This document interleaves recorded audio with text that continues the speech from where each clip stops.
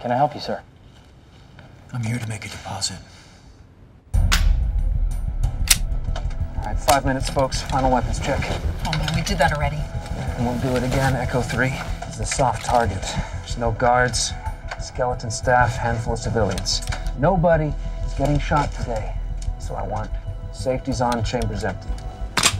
We might as well go in with squirt guns. Hey, you know what? I got a butter knife in my pocket. Just in of a grisly homicide in Redondo Beach. Stick to the plan, people, and we're out in 10 minutes. I'm here to make a deposit. So it begins. Nobody move! Keep your hands in the air! Everybody stay right where you are! Where are they? In the back, in the vault. Stay focused. Guys. The cops incoming. Who did you come from? This is 1 William 6. Officers need assistance. Boss, you might want to come see this. There's been a development. There's a possibility there's a wanted serial killer operating on the inside. I just need a moment of your time. There'll be a bloodbath in there. Sounds like he's taking out a couple of your man's crew. Showtime.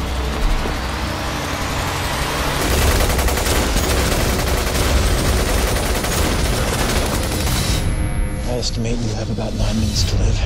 If I were you, I'd contemplate what you want to do with the rest of your life.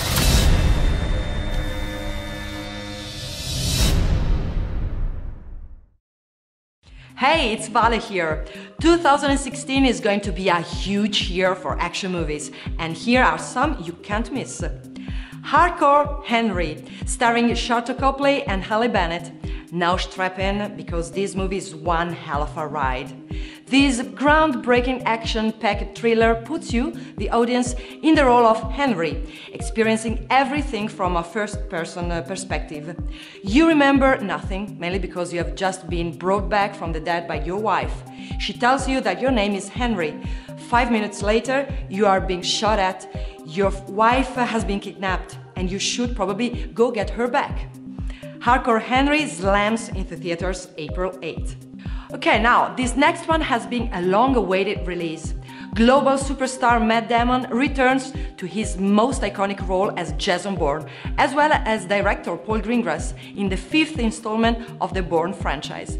Not much is known about the plot, but it will have a focus on the fact that Bourne doesn't quite know everything that happened to him and will also look at modern day societal issues.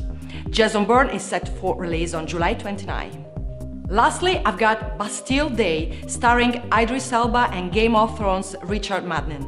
The story centers on a rogue CIA agent, Elba, tasked with uh, apprehending an American man, Madden, in Paris, who is linked to an attack on the metro system. While the agent is ordered to make uh, this suspect disappear, he comes to realize the American is innocent, and he may be the only link to the actual culprit. No release date has been set for this one. Okay, so there you have it. Let me know in the comments below your thoughts on these movies and I will leave you with our action movie playlist so you can watch all the trailers.